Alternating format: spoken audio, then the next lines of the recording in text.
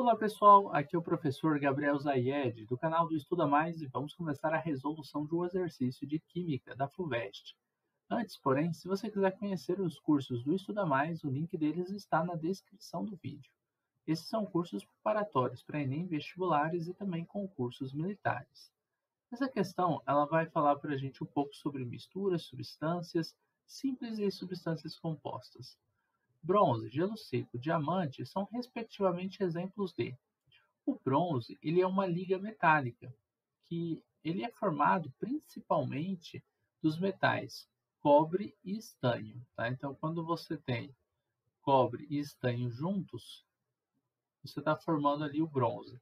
É claro que ah, o bronze ele é majoritariamente formado por esses dois metais, mas existem outros elementos também na mistura que vai formar o bronze, tá? O gelo seco ele é o dióxido de carbono, o CO2, no estado sólido, que é uma substância composta, composto aqui por dois elementos químicos, o elemento carbono e o elemento oxigênio. O diamante é uma substância simples, formada apenas por átomos de carbono. E aí nós chamamos ele de carbono diamante aqui, tá?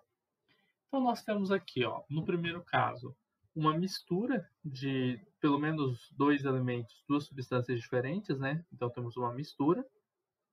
No segundo caso, substância composta. No terceiro, uma substância simples.